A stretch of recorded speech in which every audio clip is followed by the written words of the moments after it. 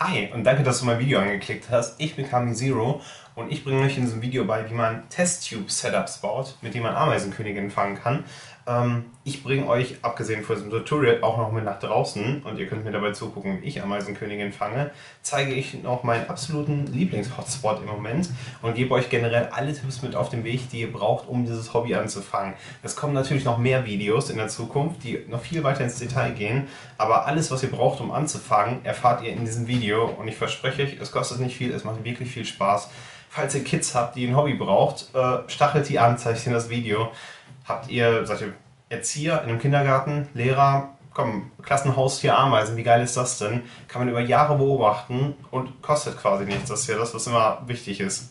Also, bevor ich weiter quatsche, geht's jetzt ins Video. Viel Spaß damit. Das ist das Resultat, wo wir hinwollen. Und wie das geht, zeige ich euch jetzt. Als erstes brauchen wir Watte. Da ist es egal, ob das wie hier Bandwatte ist oder ob das einzelne Wattepads sind. Dann Strohhalme. Hier ist es besonders wichtig, dass sie sehr bunt sind. Das ist enorm wichtig für den nächsten Step. Dann braucht ihr ein Glas, aber nicht irgendeins, sondern ein spezielles mit Wasser gefülltes. Und dann braucht man natürlich die Reagenzgläser. Fangen wir mit den Reagenzgläsern an. Äh, ich habe hier zwei verschiedene Modelle und zwar das eine, das etwas dickere, das ist aus Plastik. Das ist mit Korkenverschlüssen gekommen, die ich auch am Anfang benutzt habe, bevor ich die mit Watte verschlossen habe. Ich habe mich am Anfang für Plastikreagenzgläser entschieden, weil ich dachte, jo, die sind ja stabiler als Glas, Glas kann ja zerbrechen. Ähm, Im Endeffekt haben sich die Glasröhrchen als stabiler erwiesen, weil tatsächlich die Plastikröhrchen leichter zerbrechen, wobei es natürlich materialabhängig ist. Und ähm, ein Nachteil hatten die Plastikröhrchen auch, mal abgesehen davon, dass der Vorteil natürlich ist, dass sie günstiger sind. Bei super Nahaufnahmen, wenn man versucht hier rein zu filmen, hat das Reagenzglas sehr, sehr, sehr viele Mikrokratzer drin und man hat es schwer, dann die Ameisen angenehm da drin zu sehen. So, das hier ist das Glas, Reagenzglas, was ich euch vorschlagen möchte. Das hatte einen kleinen Plastikstopfen als Verschluss, aber wie gesagt, die Verschlüsse brauchen wir eigentlich nicht. Das ist schmaler und ähm, wie gesagt, aus hygienischen Gründen, aus wiederverwertbaren Gründen, man kann das eigentlich einfach in die Spülmaschine stellen, ähm, sind die natürlich super einfach sauber zu halten, beziehungsweise wieder sauber zu bekommen, wiederverwertbar. Das ist jetzt ein bisschen beschlagen, weil da gerade noch ein bisschen Wasser drin war. Anfangen tun wir mit unserer Watte. Ich habe jetzt Bandwatte genommen, Bandwatte, weil die ist am laufenden Meter. Ähm, es ist aber vollkommen egal, was für eine Watte ihr benutzt. Also ihr könnt auch kleine runde Wattepads nehmen, die dafür benutzen oder halt einfach diese, diese Plüsch-Wattekugeln. Die könnt ihr auch ganz einfach einmal in der Mitte halbieren und habt dann direkt die richtige Größe für zwei Stopfen, nämlich für den oberen und den unteren, auch wenn jetzt nicht so groß wie hier.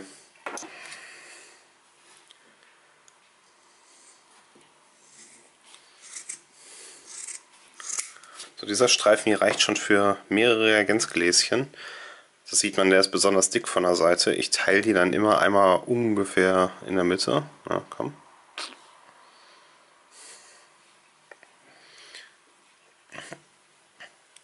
Und ab dann kann man sie nochmal teilen. Und den Streifen halbieren wir dann nochmal. Und jetzt haben wir quasi schon unsere zwei Teile, die wir brauchen. Und zwar mit dem einen schließen wir gleich das Wasser unten im Reagenzglas ein und den anderen benutzen wir dann als Verschluss. So, wir kommen zu unserem besonderen Glas voll Wasser und zu unseren Strohhalmen. In diesem Fall habe ich mich aus wissenschaftlichen Gründen für Türkis entschieden. Und der kommt jetzt rein. Den Strohhalm brauchen wir, um das Wasser in die Reagenzgläser laufen zu lassen. Und das ist halt viel einfacher, als wenn ihr anfangt, aus dem Wasserhahn irgendwas reinlaufen zu lassen. Ähm, das gibt nur Sauereien. Alternativ könnt ihr natürlich auch eine Pipette benutzen, wenn ihr eine habt. Ähm, ich hatte jetzt eine gratis dabei liegen in meiner Bestellung von anthouse.es. Ähm, aber wie gesagt, ein Sträumen tut es auch. Oder wenn ihr habt, eine Spritze ohne Spitze. Spritze ohne Spitze. Ich fange mal mit dem Plastikröhrchen. Der Stopsen kann weg. Ihr nehmt den Sträumen, haltet euren Finger drauf. Dadurch ist das Wasser im Sträumen eingesperrt nach unten ins Reagenzglas packen und dann einfach oben den Finger wieder runternehmen. Zack, und das Wasser schießt aus dem Strohhalm. Das machen wir direkt nochmal. Zip. So, das ist jetzt schon ein bisschen viel Wasser im Reagenzglas. Ihr müsst nicht den Platz der Watte mit dazu rechnen bei diesen Reagenzgläsern, weil die Watte geht dann quasi genau bis dahin, wo das Wasser ist. Und dann kommen wir auch schon zu der Watte. Zwar haben wir hier eins von unseren Wattestückchen. Und da müsst ihr von der Dicke dann gucken, je nachdem, was ihr da ähm, für ein Reagenzglas habt, wie dick oder dünn es ist. Es sollte halt stramm genug sein, als dass das Wasser, Wasser da nicht rausläuft. So, jetzt habe ich die Watte hier oben schon mal reingesteckt, schieb sie rein. Und jetzt benutzt ihr nochmal euren Strohhalm, um sie reinzudrücken. Und da ist wichtig, dass ihr es einmal schnell macht. Wenn ihr sie langsam reindrückt, dann habt ihr immer noch eine Luftblase hier unten drin. Wenn man das schnell macht, dann passiert das nicht. Also 3, 2, 1, zip. Schnell reingedrückt. Das Wasser hat sich hoch bis zur Watte gezogen. Ich poke dann immer noch ein bisschen nach, um auch zu sehen, dass wirklich die Oberfläche feucht ist. Jo. Wie gesagt, ihr habt ja gesehen, das Wasser war bis zu diesem Rand hier voll. Das heißt, das Wasser ist nicht nur das bisschen, was hier hinten drin ist, sondern die komplette Watte ist voll mit Wasser. Jo. Und dann ist schon der Großteil fertig. Ich brauche ein weiteres Stück Watte. Das ist ein bisschen zu dick. Das ihr zusammenmanscht, damit es einen festen Verschluss ergibt. So kann nämlich immer noch minimal Luft zirkulieren und ihr braucht die tatsächlich zum Fangen, die Watte. Das ist nämlich besser, als die Korkverschlüsse dabei sind. Auch Feuchtigkeit kann zirkulieren. Das heißt, wenn es zu warm ist und sich hier Wasserdampf bildet, so kann es immer noch minimal durch diese Watte hier entweichen. Also auch auf jeden Fall allemal besser als so ein luftdichter Kork- oder Plastikverschluss. So, jetzt das Glasröhrchen. Der Stopsen kommt wieder weg. Dann benutzen wir einmal ein Stückchen Wasser nehme das hier einmal doppelt und rolle es dann ein, damit es dicker wird. Für die dünnen Röhrchen braucht man natürlich viel dünnere bzw. weniger Watte. Kurz testen. Jo, passt. Dann wieder Finger auf den Strohhalm, ins Reagenzglas rein. Wenn man zu viel Flüssigkeit drin hat, einfach den Strohhalm nochmal ein Stück reinsetzen, Finger oben wieder draufsetzen und dann kann man auch das Wasser wieder aus dem Glas rausnehmen. So, dann kommt unser Wattestopfen. Stopsen. Und den drücken wir dann wieder mit unserem Strohhalm rein. Und wieder schnell reindrücken, weil wenn man es langsam macht, dann hat man Luftblasen. Zack. Millimeter tiefer. Wenn man die dann zu tief reindrückt und man hat hier oben schon so eine kleine Wasserpfütze, ähm, dann auf jeden Fall mit einem Wattestäbchen reingehen und das dann einmal von innen abtrocknen. Oder ihr nehmt einfach nochmal irgendwie ein Stück lose Watte und äh, schubst das irgendwie mit einer Pinzette oder so rein und dann abtrocknen, weil Ameisen sind ja nicht immer schlau und wir wollen ja nicht, dass sich irgendwer in einer kleinen Wasserpfütze im Reagenzglas ertränkt oder dass es ihnen einfach unangenehm ist, weil das zu viel, zu offene Feuchtigkeit ist. Die Queenies sollen sich ja bei uns wohlfühlen. Also behandelt sie mit Respekt und baut ihnen hier ein kleines Ameisen-Luxushotel. So, dann nehmen wir natürlich wieder ein bisschen Watte. Falten das einmal fest zusammen. Das muss nicht so ultra stramm, ultra fest sein, weil Ameisen sind zwar jetzt stark, aber nicht so stark, dass sie schaffen, so einen Wattestopfen hier rauszujagen. Ja, und dann habt ihr schon euer Glas-Setup. Es gibt natürlich auch die Glasröhrchen in dicker. Es gibt die auch in viel, viel länger. Ähm, das kommt immer darauf an, welche Rassen ihr darin zum Beispiel haltet oder fangt. Das heißt, für die normalen deutschen Ameisen reichen die hier auch die kleinen Schmalen komplett aus, weil die mögen es ja gerne eng. Das habe ich jetzt auch schon gehört, dass äh, Eltern es zum Beispiel grausam finden, dass wir dann Tiere auf so kleinem Lebensraum halten. Aber, jetzt kommt das große Aber, ähm, die Ameisenkönigin, nachdem die begattet wurden, ihre Flügel abgepackt haben, laufen hier draußen wild durch die Gegend rum. Das ist der Punkt, an dem wir sie einfangen, bevor sie sich in der Erde eingraben. Weil wenn sie sich in der Erde eingraben, dann lassen sie sich ähm, nur ein kleines bisschen Platz, was ja noch weniger ist als das hier. Und da bleiben die dann mindestens einen Monat lang, meistens sogar länger, bis ihre ersten Arbeiter geschlüpft sind. Und die Arbeiter fangen dann an, den Ameisenbau aufzubauen. Aber in der ganzen Anfangsphase leben die einfach in nur so wenig Platz. Das heißt, Ameisen fühlen sich wohl in ihrem Reagenzglas, wo sie trinken können. Essen brauchen sie am Anfang ja noch nicht. Beziehungsweise es kommt auf die Gattung natürlich an aber die meisten schließen sich einfach in der Erde ein und gehen nicht auf Nahrungssuche und sind dann komplett happy hier drin, also keine Tierquälerei.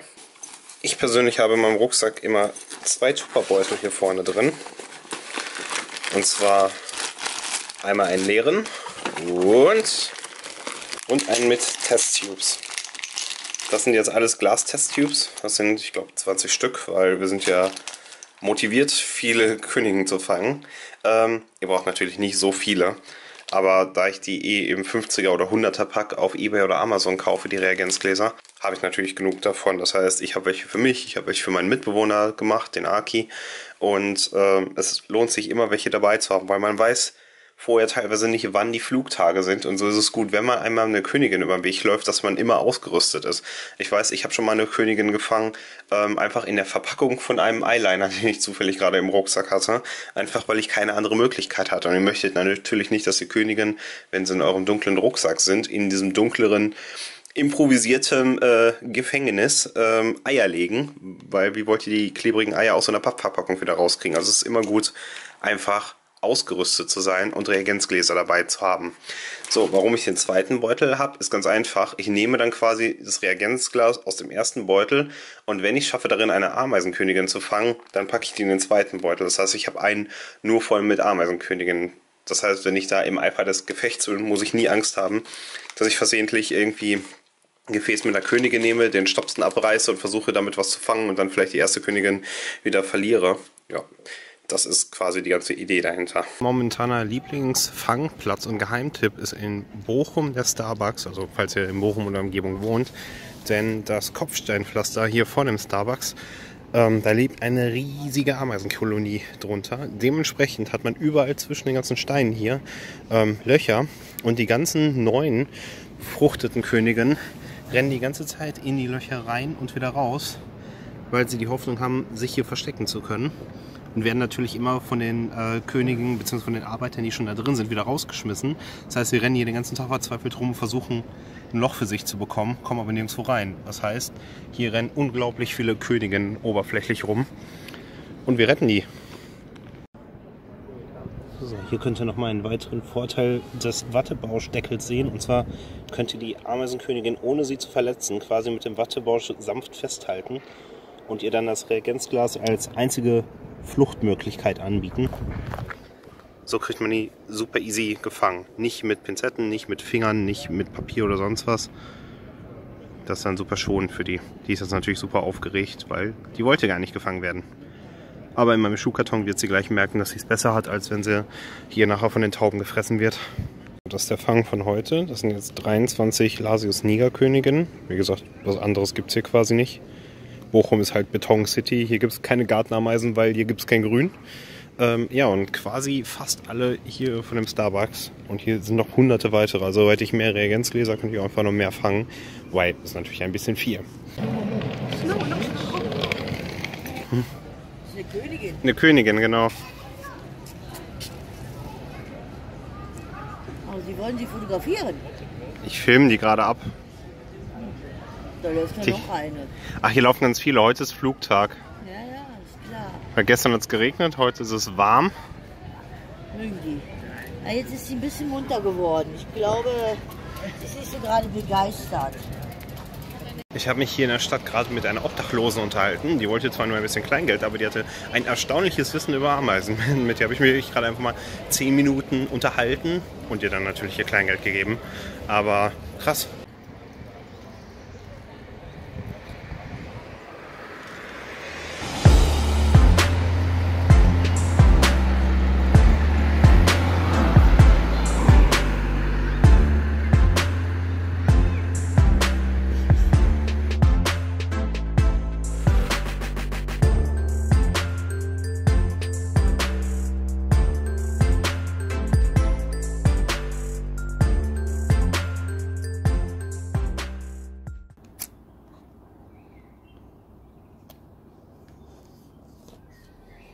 weiß ich auch genau, wann ich die Fuhre gefangen habe.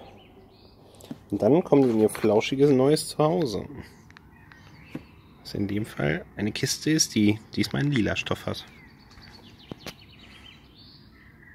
Und da schlafen die erstmal einen Monat. Also eigentlich nicht. Jetzt beginnt das Arbeiten für die Königin.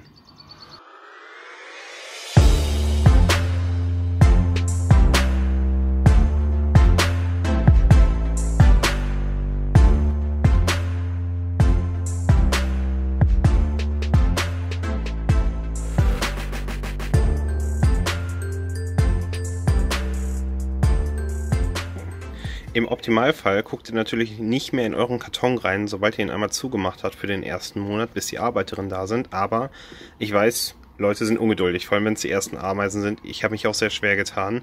Und da gibt es dann einen kleinen Cheat. Und zwar, das ist das tolle Zeug hier. Das ist rotes, transparentes Acetan. Das ist eine Folie, die Licht blockt, weil Ameisen können kein rotes Licht sehen. Das heißt, ihr habt zwei Möglichkeiten. Entweder schneidet ihr euch da ein kleines Stück aus und das Stück rollt ihr dann um euren Testtube. Dann könnt ihr die beobachten. Im ganz Dunkeln ist natürlich immer noch besser, aber ähm, das schluckt schon mal viel Licht für die Ameisen. Oder was ihr halt auch machen könnt, ihr könnt auch einfach die Folie über den Karton legen. Wie ihr seht, sieht man wenig. Aber das stresst auf jeden Fall die Ameisen nicht. Holt euch auf jeden Fall mal das rote Acetan. Also ich habe jetzt 80 Cent für diesen Bogen hier bezahlt. Und es macht, dass eure Ameisen mehr Eier legen. Bei meinen ersten gefangenen Ameisen konnte ich es nämlich auch nicht sein lassen und habe quasi durchgehend da jeden Tag mindestens einmal reingeguckt, weil ich es nicht sein lassen konnte. Aber da ist dieser Unterschied. Eine Ameise, die in Ruhe gelassen wird, haut da einfach mal hier so 15 bis 20 Eier raus. Äh, wenn man jeden Tag da reinguckt und die sich gestresst fühlen, dann legen die einfach mal die Hälfte davon. Dann hast du vielleicht nur 5, 6 Eier da liegen, anstatt so riesige Haufen, wie die es jetzt hier haben. Also Ameisen in Ruhe lassen, oder wenn ihr es nicht aushalten könnt, zumindest durch die rote Folie nur beobachten. So, das war's für das erste Video. Ich hoffe, euch hat Spaß gemacht. So, mir macht das Ganze super viel Spaß. Ich habe Bock, noch richtig viele Videos zu produzieren. Was noch auf der Liste steht, ist, ich habe etwaige Einsteiger-Sets, zum Beispiel bei Ebay, bei Amazon und bei bestimmten Ameisenseiten gekauft, die ab 20 Euro anfangen, hochgehen bis 40 Euro. Das heißt, ich teste für euch in den nächsten Videos günstige erste Formikarien und Ameisennester, die man auch für ein Taschengeld kaufen kann. Und ja, ich würde sagen, ich hoffe, ihr habt Glück gehabt bei der Ameisenjagd oder habt Glück, es kommen ja noch ein paar Flüge dieses Jahr. Wenn ihr Erfolg gehabt habt, schreibt mir. Sagt in den Kommentaren Bescheid, falls ihr sogar wisst, was das für eine Art ist, ähm, was ihr für eine Art gefangen habt. Postet sondern einfach Bilder. Ansonsten kann ich euch noch empfehlen, meinen Instagram-Account, KamiZero. Da könnt ihr mir dann auch Videos schicken, Fotos schicken und ich kann euch vielleicht auch bei der Bestimmung helfen. Auf jeden Fall finde ich es geil zu sehen, dass wenn ihr erfolgreich seid, dass ihr mir davon was zeigt. So, ansonsten würde ich sagen, viel Spaß bei Pokémon Go im Real Life, nur in besser. Und ich würde sagen, wir sehen uns im nächsten Video. Macht's gut, bis dann.